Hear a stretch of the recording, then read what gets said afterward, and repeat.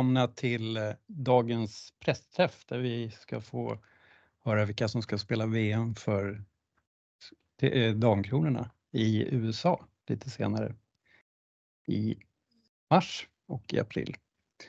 Eh, Stefan Ladet, jag ska fungera som mediamanager media manager under turneringen och vi kommer ha lite mer information om det. Eh, den här träffen inleds av vår landslagschef Anders Lundberg som ska berätta lite grann om eh, våran dam och flicksatsning och se hur det ligger till och hur det har gått hittills.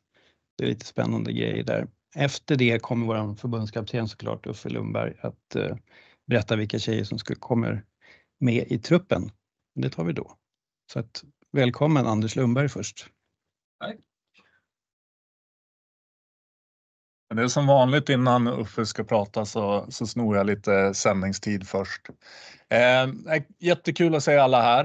Eh, vi har ju sedan 2021 eh, haft eh, en tydlig satsning på, på dam och flickhockeyn, inte bara från Svenska ishockeyförbundets sida utan svensk ishockey, hela rörelsen som, som committade sig tydligt och, och satte en ribba att nu ska vi framåt.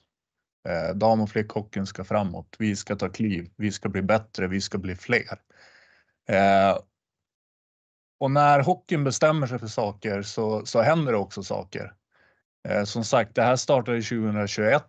Eh, vi hade, eh, gjorde kartläggningar. Hur ser, ser det ut idag? Antalet spelare, antalet lag. Eh, vi tittade på kulturen i hockeyn, våra normer, hur vi, hur vi agerar. Vi, vi vågade se oss själva i spegeln eh, ordentligt och utifrån det så, så har vi satt ett antal strategier framåt. Eh, idag 2024 så kan vi konstatera att från den starten så har vi ökat antalet tjejer som spelar ishockey med 43 procent. Vi slog eh, vallen med 10 000 licensierade dam och flickspelare nu i år, vilket är otroligt roligt eh, och visar också på den här kraften när vi bestämmer oss och faktiskt ger eh, tjejer bättre förutsättningar och vi välkomnar dem in i vår fantastiska idrott. Då händer det också saker. Eh, så otroligt glädjande siffror. Eh, vi ser också den här säsongen, en av strategierna det var att bygga en bättre plattform för spelarna vägen fram. Eh, vilket gjorde att vi bild såg till att skapa rena juniorserier för tjejer i hela landet. Så från förra säsongen till den här säsongen har vi ökat från 9 juniorlag till 26 eh, juniorlag. Och det, jag tycker det är helt otroliga siffror och hur fort det här går. Men med det sagt så är, betyder inte det att vi är nöjda här och nu, utan vi jobbar stenhårt nu, både från förbundet och hela hockeyrörelsens sida, att hålla det här trycket uppe, uthålligheten, att vi fortsätter eh, skapa ännu bättre förutsättningar för att bli, bli ännu fler och ännu bättre. Vi vet ju också, nu ska strax Uffe få, få presentera truppen till, till det här VMet, men vi vet också att tillväxt, utveckling och prestation, det hör ihop. Eh, Svenska ishockeyförbundet ihop med hela hockeyrörelsen skapade en ny, ett nytt strategidokument för hela ishockeyn fram till 2030 eh, som klubbades på, på senaste förbundsmötet där vi sa att eh, vi vill ha en föreningsishockey av högsta kvalitet med en tydlig målbild att vi ska nå över 100 000 licensierade spelare och domare. Vi sa att vi ska vara, bli bäst i världen, det vill säga båda våra Eh, representationslandslag ska vara topp tre på världsrankingen. Samt att vi vill öka intresset för svensk ishockey. Där vi idag vet att 21 procent av svenska folket är mycket eller intresserade av svensk ishockey. Den siffran vill vi höja upp till åtminstone 25 procent fram till 2030. Med det sagt, den här tillväxten som vi ser eh, nu på dam och flicksidan är jag helt övertygad också kommer att ha en effekt på vårat, eh, våra damkronor i framtiden. Eh, så det är otroligt roligt att se vad som händer i hockeyn just nu och framförallt hur otroligt fort det, det faktiskt har gått från det vi började.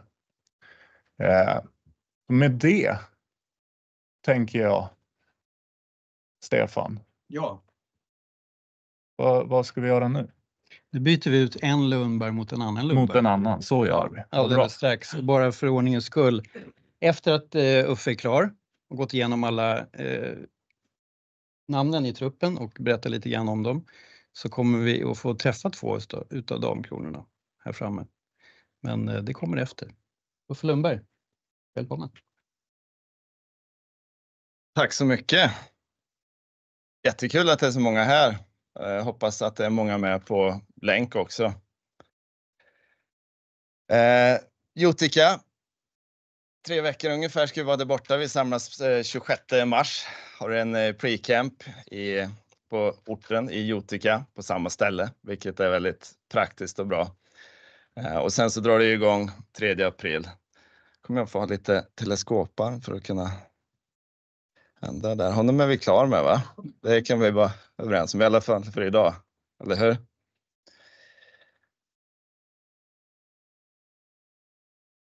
En eh, kort eh, återblick. Säsongen och då har Stefan Lade satt upp det så där eh, snyggt med Eurohockey Tour-matcherna. Ja, det kallades inte Eurohockey Tour i augusti, men de två senaste turneringarna var Eurohockey Tour och i november så var vi och mötte Schweiz tre gånger. Ehm, det är starkt. Vi har tre raka vinster mot Finland, Ehm, vilket naturligtvis ger råg i ryggen. Så Där ser det ut mot Schweiz. Ehm, den gjorde ont, den eh, förlusten senast. Ehm, men Jag sa där och då att jag tror att vi kommer ha nytta av den, så som den eh, utspelade sig. Apropå lärdomar, apropå matchförståelse etc. Vi har haft ganska lätt mot Schweiz eh, historiskt. Sen Har vi raden mot tjeckerna där och det är ju en sån där morot. Tjeckien som ni vet har tagit eh, brons de senaste mästerskapen. Där har vi varit nära ett antal matcher. Vi har slagit dem innan det här, men men eh, de senaste, där har de dragit längsta strået och eh, det är ju en sån där morot. Något som också driver oss ytterligare att vi vet att det krävs ytterligare ett steg för att prestera, för att vara där uppe och för att slå dem. Den typen av matcher är att vi har väldigt mycket offensiv zontid, att vi har mycket puck och så vidare, men det går ut på att göra mål, kort och gott. Och så Tyskland där, sista. Ehm, som eh, ett gediget lag. Ehm, vi har de där två segrarna senast. Laget bakom laget. Andreas Spångberg och Dennis Bosic är assisterande coacher. Ola K är målvaktscoach. Vi har Adam Albelin som videocoach eh, och han kommer jobba mycket tillsammans med Andreas Karlsson, U18 förbundskaptenen, som är scoutingcoach. Ehm, det är ju tajt eh, mellan de där matcherna. Sju matcher på 11 dagar siktar vi in oss på. Det gäller att ha klart eh, nästa motståndare med färska bilder, färska klipp för att hela tiden gå vidare i processen. Så fort man stänger en match så börjar ju förberedelserna för nästa. Eh, och Vi har Ida Kyrillis eh, som är fyscoach och eh, det är ju dels under turnering, de som spelar mindre, att verkligen hålla igång dem, men också på pre-campen naturligtvis, som hon har en viktig roll. Serviceteamet. Jätteviktiga bakom. Får inte så mycket rampljus på sig, men Doktor Wille Ahnberg, Två fysios, Elin Stenberg, Susanna Johansson. Eh, vi har eh, Benny Andersson och Rickard Regnell som materialare. Hanna Carling som jobbar från högkvarteret eh, och servar oss och fixar allt inför av administrativ karaktär. Aron Broman med som fotograf. Så Det här är ju hjältar inom sitt respektive område. Grymma människor att ha med sig.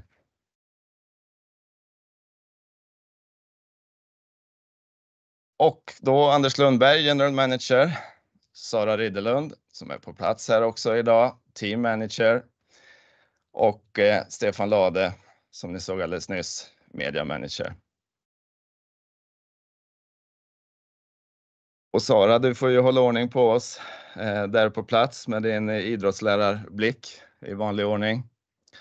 Eh, just det där, inte bara ett steg före, utan två steg före hela tiden.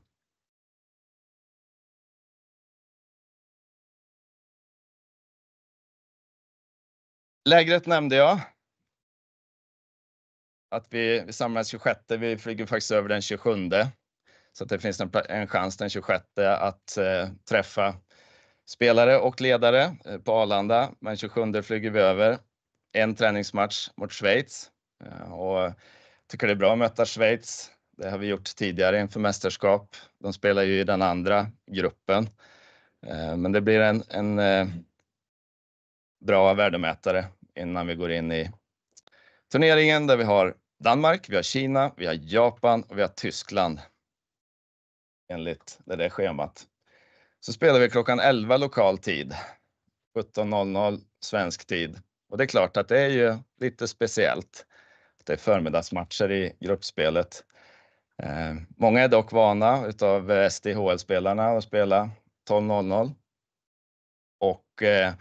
Vi har en plan för att vi ska vara som bäst då när pucken släpps naturligtvis. och Det får man ju tänka till lite när vi ställer om dygnet. Men inte ställa om det eh, fullt ut. Och Där handlar det ju om att eh, ta sig vidare till kvartsfinal. Eh, ni känner till hur det är upplagt. Alla fem lagen ifrån den sidade poolen går vidare och tre lag ifrån vår grupp går vidare till kvartsfinal.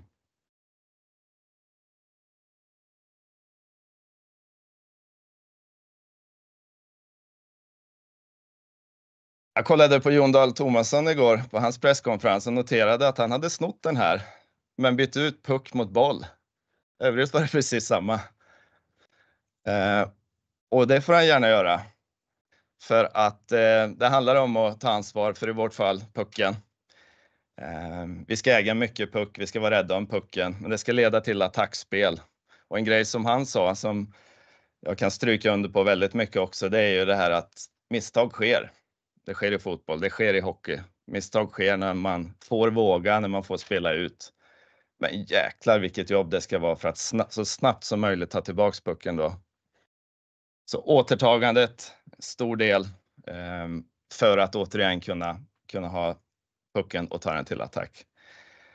Ehm, det är väldigt jobbigt att spela med Damkronorna. Eh, och Det är många spelare som vittnar om också. Men Det är ännu jobbigare att spela emot.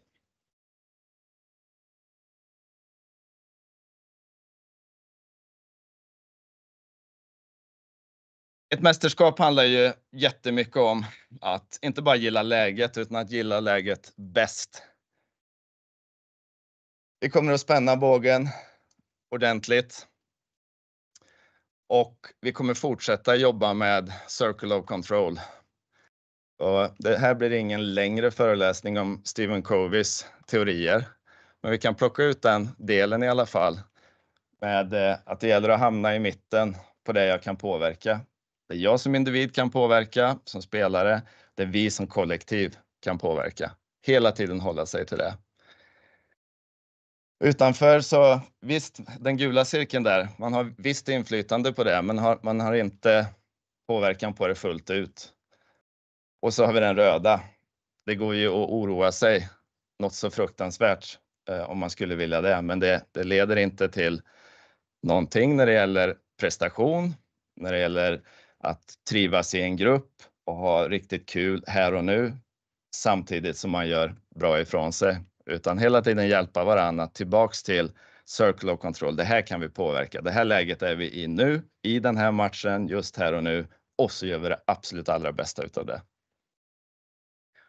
Sätt också till, oavsett vilket läge vi hamnar i i turneringen. Så där då. Kommer vi in på eh, 3 målvakter, 7 backar, 13 forwards. Och eh, 3 målvakter, det hade vi ju, har vi haft på de senaste mästerskapen också.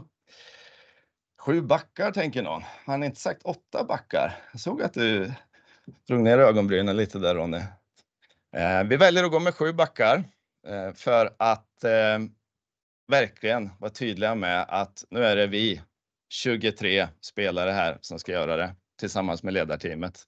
Sen har vi reserver både i Nordamerika och här hemma i Sverige att plocka in om det skulle hända något. Eh, så att eh, till skillnad från senast där vi hade en åttonde back med som bara var med på pre-campen.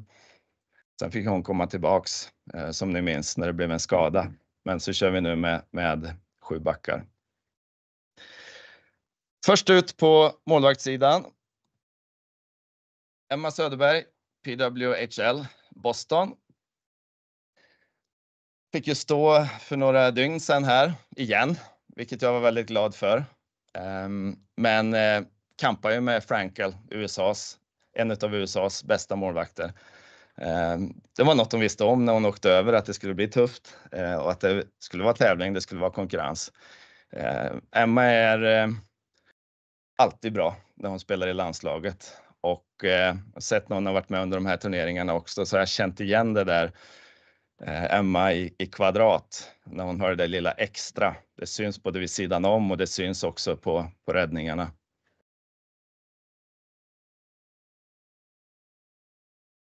Ida Boman, Djurgården. Nu hade det ju varit kul av det om vi hade kunnat få hit Ida i dag. Fixar du det? Ja, vad bra.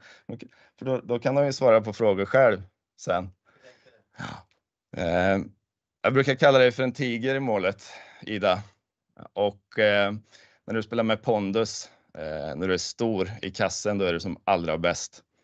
Ida har gjort en jättefin säsong i Djurgården och det ska bli väldigt kul att ha med i den här truppen. Så har vi Tindra Holm, Long Island University. Tindra har tagit sina steg utvecklingsmässigt och eh, ni som följer oss såg att hon hade jättetuff match mot eh, Schweiz eh, i februari där senast. Jag tycker det är starkt av Tindra att kunna utvärdera, kunna lära sig, att kunna gå vidare. För att vi vet ju alla till mans att det är jättemycket vad elitidrott handlar om. Att kunna nollställa, kunna gå vidare, kunna lära sig och det är en väldigt duktig målvakt.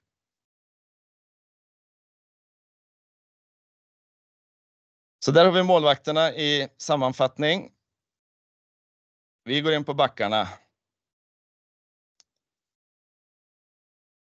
Först är Linnea Andersson, Modo. Och eh, Då ska jag citera en av mina assisterande, Andreas Spångberg. Han brukar säga att hon får skiten gjord. och Det är eh, ganska fint sagt eh, om Linnea. Eh, när det kommer till att vara en funktionell back som är jobbig att möta, eh, som är bra på att välja enkla alternativet, duktig penalty kill, stark, robust. och Linnea kan också spela kortare tid, mindre tid i matcherna och hon kan spela mer. Det är samma leende, det är samma riktande av energi oavsett. Mira Ljungåker, HV71.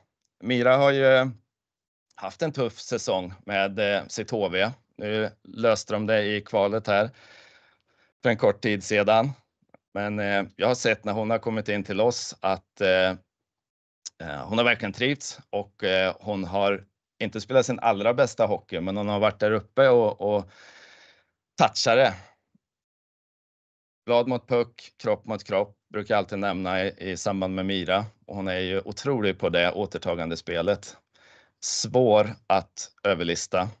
Eh, och Sen så den där offensiva uppsidan att ingen som riktigt vet vad som ska ske och det betyder att det är oannonserat.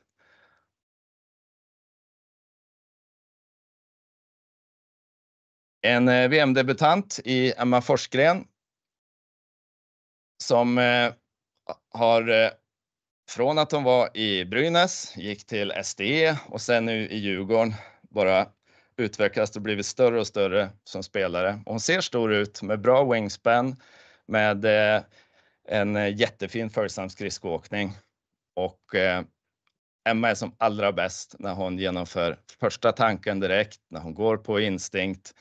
Eh, för då är det det där funktionella, enkla hon plockar fram.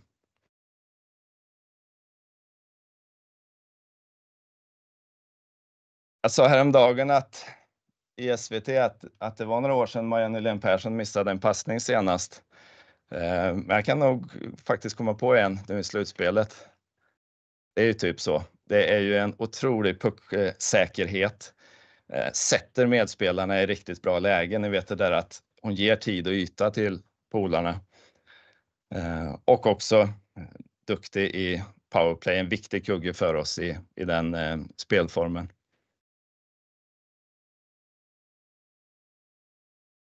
Har vi en VM-debutant till, Ida Karlsson, Minnesota Duluth, som har gjort en grym säsong som freshman, som de kallar det där borta i NCAA.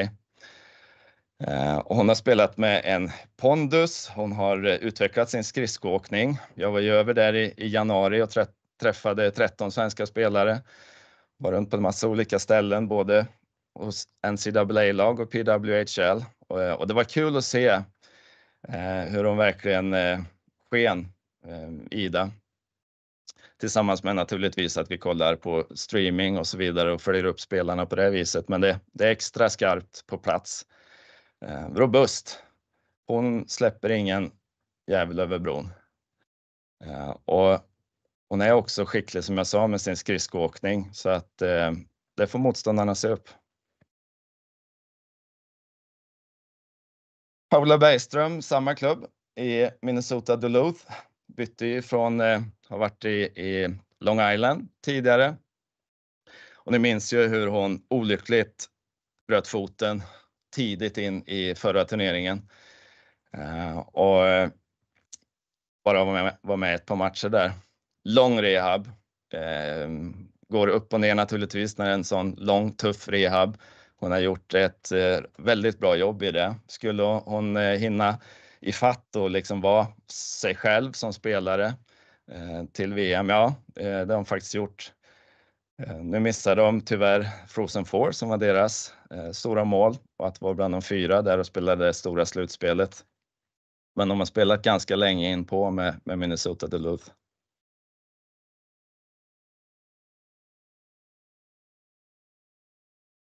Och avslutningsvis på backsidan, Anna Kjellbin i Luleå. En eh, stor ledare i den här gruppen. Eh, en eh, jättebra person som vill ha in och är duktig på att få in alla eh, innanför ramen, men också ser till att eh, on och off-knappen som vi propagerar så mycket för verkligen hålls. Så att när det är off, då är det återhämtning. Då är det att samla kraft och energi och ha skoj tillsammans vid sidan om. Eh, det tillsammans med att de visar med exempel. Jag gillar egentligen inte det där uttrycket att, att en spelare alltid alltid kommer till spel, för det förväntar jag mig att man gör om det är match, om man är uttagen och man är frisk och hel. Men, men eh, man vet vad man får och hon är, är robust. Hon är solid i sitt spel, Anna.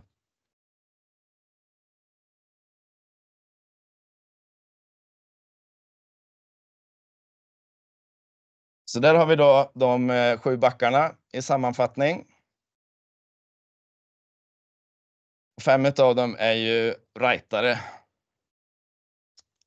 Vilket eh, är lite intressant. Eh, det är fler rightare på backsidan än på forwardsidan.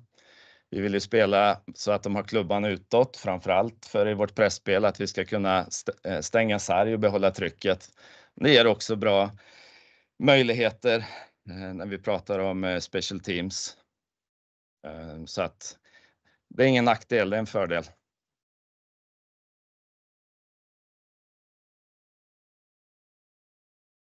På forwardsidan startar vi med Hilda Svensson, Trollgumman, HV71. Och eh, Hilda har ju, precis som jag sa om Mira Ljungåker, gått igenom tuff tid. Alltså visst, det är sport, det finns saker som är mycket värre, men att vara i kval så där och att i en så stor förening, det är klart att det, det ger ju otroligt värdefulla erfarenheter att ta med sig. Ehm, jag tror eh, mig veta att Hilda kommer att ha riktigt kul eh, i Jotika och spela på instinkt, spela med ryggmärgsspel, vrida och vända, eh, sätta upp sig själv och polarna i, i väldigt bra lägen.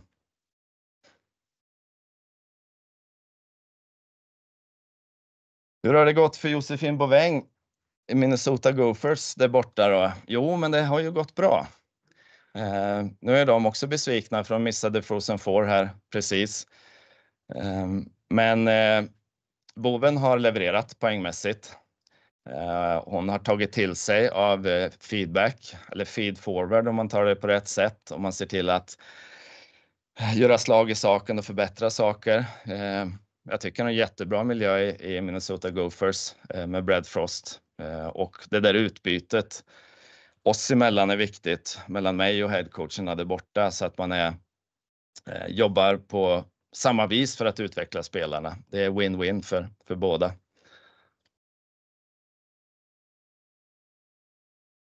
VM-debutant Vilma Sundin, Duracellkanin från Sundsvall från början, men i Modo numera, är ju i elden i SM-finalen.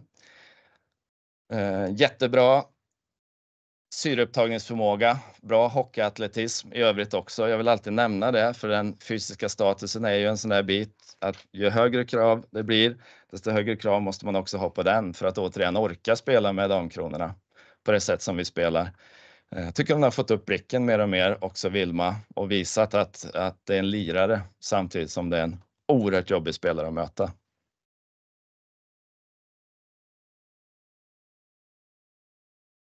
Sofie Lundin, Frölunda, kom ju hem ifrån eh, Ohio State under säsongen och eh, en hårt arbetande Sofie Lundin. Eh, hon bidrar verkligen till det här laget därför att hon har stor passningsskicklighet. Hon är duktig på att hitta ytor, hitta lägen för medspelarna. Behöver skjuta oftare själv, då kommer hon bli ett ännu större hot. Sara Hjalmarsson, Linköping, som har varit en rese för Linköping under den här säsongen och för oss i Damkronorna. Dragit ett eh, väldigt tungt lass. Har utvecklat en viktig detalj som vi passar på att jobba med den lilla tid vi har spelarna, men som är grymt viktig både offensivt och defensivt och det är ju tekningarna. Eh, det är tekningarna. Hon har blivit starkare, hon har blivit listigare på tekningarna. Eh, och hon har ju ett driv, hon har vana av att spela på liten rink där borta från sina år i Providence.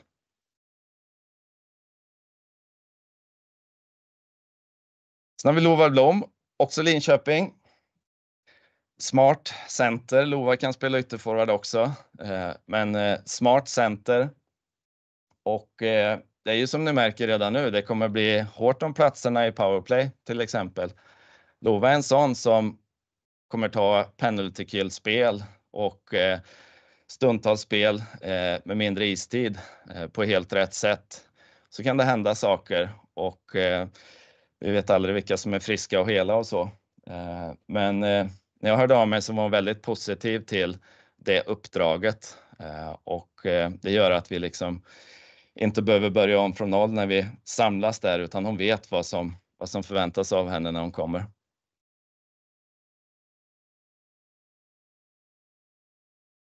Hanna Tuvik, Brynäs, som ju har gjort en hel del eh, poäng i år i Brynäs. Hon har fått spela center en hel del. Det kommer hon inte att göra nu hos oss och det har hon inte gjort under våra landslagsturneringar tidigare heller. Eh, men om man blickar tillbaks förra VMet, då var ju hon i en kedja som skapade väldigt mycket, eh, investerade mycket för oss, tog musten mycket ur motståndarna så att några andra kunde Eh, vara där och, och göra mer mål och producera mer. Eh, det finns mycket i Hanna. Hon kan vara skymmare, hon kan återta puckar, hon är stark på pucken.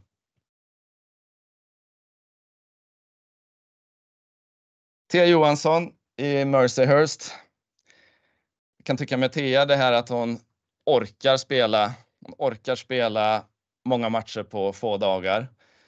Hon är som bäst när hon är elak, när hon är i ansiktet på motståndarnas målvakt när eh, de stör sig på henne och när hon använder sin skridskoåkning för att då blir hon också riktigt bra i närkampsspelet.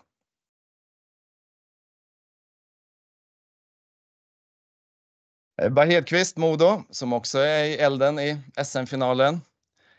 Och eh, Ebba har ju varit med oss under säsongen. Hon spelade VM i fjol, Eh, gjorde det bra, eh, sin senior VM-premiär då. Eh, tycker hon har utvecklat en hel del. Det är en center som jag skulle vilja spela med om jag var ytterforward. För att hon är duktig på att fördela puck, men hon är också duktig på att göra det här tvåvägsjobbet som måste göras som center. Både att vara stark defensivt och klicka med backarna, men också att göra det med vingarna.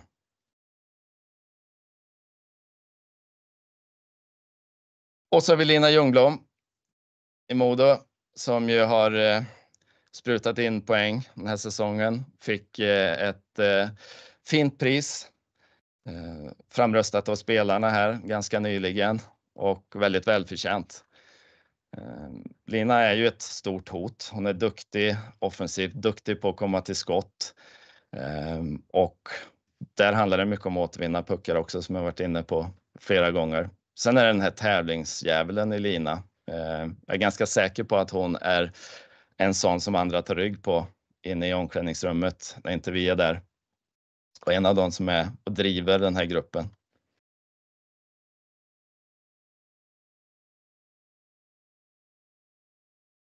Och Så har vi Hanna Olsson i Frölunda. Lite samma där Lade. Nu är vi inte i Göteborg, men det hade ju varit läckert. Ja. Jobba på den. Tror hon hade annat för sig just, men ja, vilken grym rehab. Vi har ju haft kontakt under säsongen kontinuerligt här och ja, men det här är ju en bonus för mig och jag vet att det är en bonus för dig också, Hanna. Han spelade några matcher i slutspelet innan Frölunda åkte ur. Jag har naturligtvis vägt in att det är ett tag tills eh, vi ska spela första matchen i VM och vi har träningsmatch på plats där innan också. Eh, så Det var ett väldigt glatt besked när det visade sig att det höll och att eh, rehaben har gått så bra.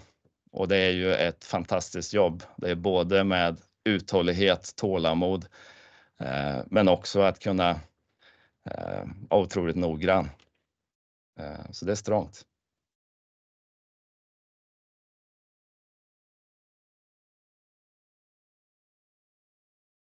Och Innan du var med fullt ut i närkampsspel i Frölunda, Hanna, då slapp du på henne jagande efter dig på träningarna.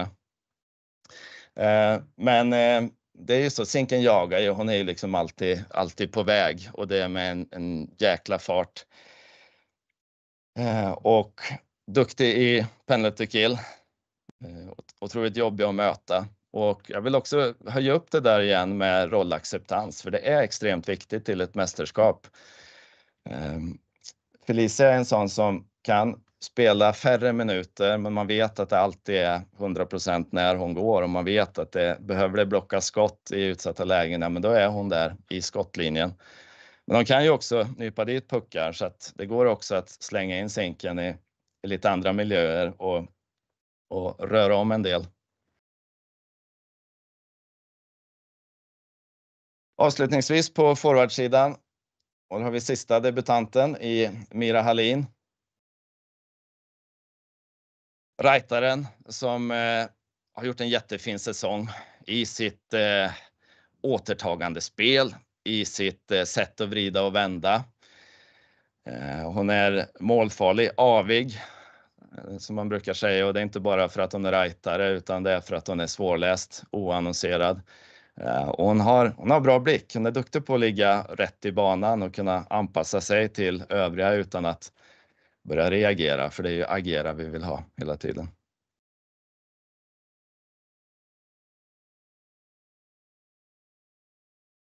Så Där har vi forwards sammanfattningsvis.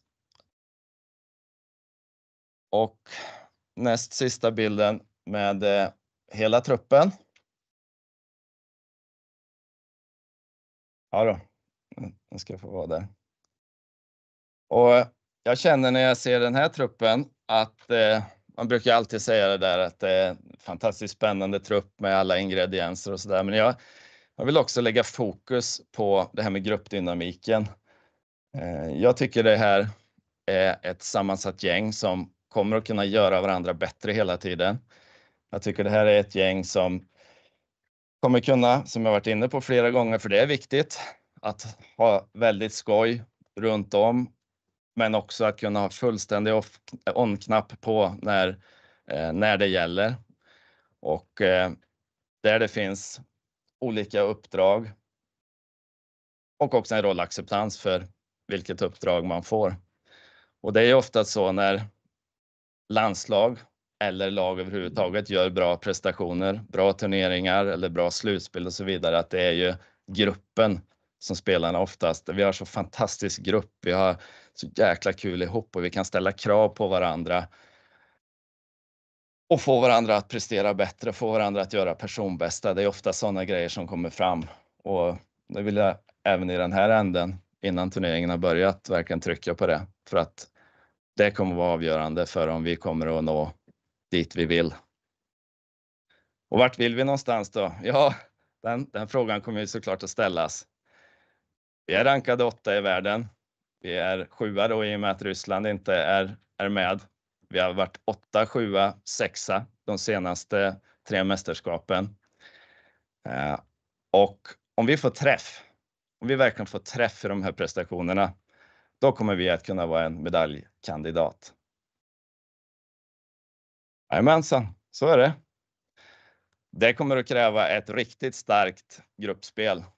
Eh, det kommer att kräva att vi är i circle of control extremt mycket och det kommer att krävas att det är topprestationer eh, ifrån det här gänget. Men eh, Jag nämnde Tjeckien tidigare som har tagit brons ett antal gånger i rad. Och Jag har full tro på att vi kan vara en kandidat där. När vi går prestation för prestation för prestation på ett metodiskt sätt. Jag sa att det var en bild kvar och det är den viktigaste. Där kommer den. Media. Ja. Tack Uffe. Tack. Jag tycker ju att när man lyssnar på Uffe så lär man sig ganska mycket om spelarna. Man får en bild av alla tjejer som är med i truppen. Jag tycker det är härligt. Målande beskrivningar hela tiden. och eh, Jag vet inte om alla uppfattar det, men vi har ju två spelare här. Anna Olsson. Varsågod, kom fram. Och Ida Boman. Och Från början så måste jag fråga, eh, när de här bilderna klickas upp, ni har ju vetat ganska länge att ni ska vara med i truppen och sådär, så det är ju ingen överraskning som kommer. Men ändå när man ser sitt namn och sin tröja och sin bild och sådär, hur känns det? Nej, men det är klart det känns otroligt stort. Det är alltid en ära att få representera landslaget och få se sitt namn där bland så många duktiga spelare är alltid jättekul. Vad säger du Ida? Ja, nej men det är precis som Hanna säger så är det så klart ärofyllt och jättekul att få vara med. I oktober 23, alltså början på säsongen, så kunde man ju läsa att säsongen är slut för Hanna Olsson. Det blir ingenting mer. Och Nu står det här och nu ska du spela VM igen. Bra pannben gissar jag. Eh, jo, men det är klart att det ligger mycket jobb bakom. Eh, det vet jag om. Eh, jag vill passa på att hylla de som har stöttat mig runt omkring och eh, haft eh, perfekt eh, rehabplan som jag har kunnat följa och bra läkare som opererar och sådär. Det är klart jag ska hylla dem, men mycket pannben är det såklart. Det var inte första skadan som du har kommit tillbaka förut också. Nej, man lär sig också med åren och blir klokare och vet om att det, även om man vill snabba sig så mycket som det går så går det inte fortare i längden och inte vara noggrann. Man lär sig. Ja. Ida, 3 matcher i Damkronorna i år. 3 vinster. Nollan i sista. Är det lätt att spela målvakt i Damkronorna? Ja, men det skulle jag säga ändå. Vi har ett grymt försvar och som Uffe sa tidigare så har det varit grymma grupper och det är tryggt att spela. Man känner sig, ja men trygg och kan spela sitt eget spel. Vad säger du om det målvaktsteamet som ni är? Ni har ju varit ihop lite grann under säsongen också med Ola Kahem, Emma, du och Tindra. Nej, men det är en grym grupp och vi har jättekul tillsammans och eh, peppa varandra och tävla på träningarna så det är grymt. Härligt. Det ska bli kul att vara med er naturligtvis, men också kul att få se alla matcher antingen på plats eller på SVT. Tack för att ni är här. Tack. Och tack Svenska Spel för att vi fick vara här och ha pressträffen. Vi avslutar sändningen där och sen är det ju intervjuer och så. Anna, Ida?